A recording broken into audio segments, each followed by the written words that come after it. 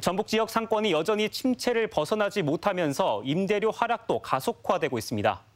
특히 전북은 전국 최고 수준의 하락폭을 보였는데 공시를 없애기 위해 일정 기간은 아예 임대료를 포기하겠다는 건물주도 늘어나고 있습니다.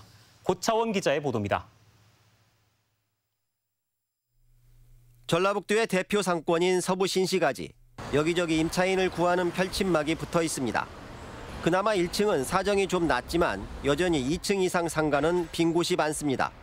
이런 상황을 반영하듯 rent free, 즉 일정 기간 임대료를 아예 받지 않는 기간이 최근 들어 한 달 정도 더 길어졌습니다.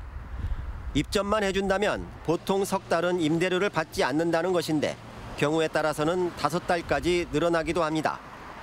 하지만 이런 조건도 전반적인 임대료 하락을 막기는 어려운 상황. 올 1분기 전북의 중대형 상가 임대 가격 지수는 전분기 대비 0.46% 하락했습니다. 하락폭으로 보면 광주, 경남 다음으로 큽니다. 주로 구도심에 몰려 있는 소규모 상가의 경우는 상황이 더 나빠서 하락폭이 전국 최고인 0.58%를 보였습니다.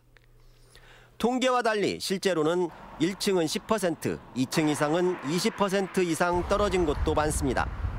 지금 이제 공실률 있고 금리까지 올랐잖아요. 그러니까 버티는 한계점을 느끼는 거예요. 그래서 지금도 2, 3층 같은 경우는 그냥 시세가 없어요. 그냥 맞춰줄게 그래요. 지역별로도 편차를 보이면서 서부 신시가지와 송천동 상가의 임대료 하락은 발표된 평균치를 크게 웃돌고 있습니다.